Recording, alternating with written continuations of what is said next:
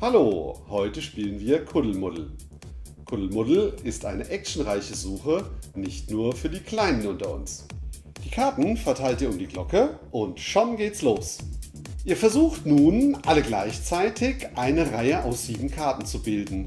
Dazu nehmt ihr eine Karte und legt sie vor euch ab.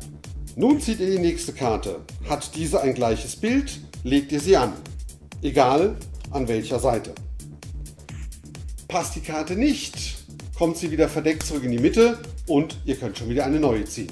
Wenn du sieben Karten in einer Reihe hast, haust du schnell auf die Glocke.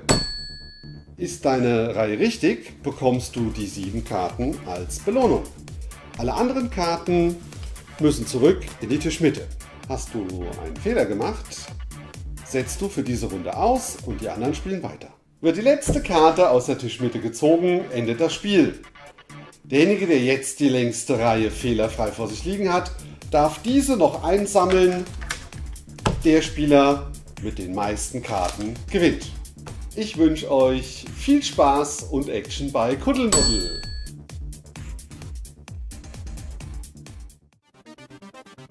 Hallo, heute spielen wir Set.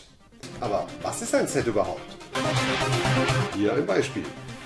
Wir haben die gleiche Anzahl aber Form, Farbe und Füllung ist unterschiedlich. Viel Spaß beim beliebten Kultspiel Set.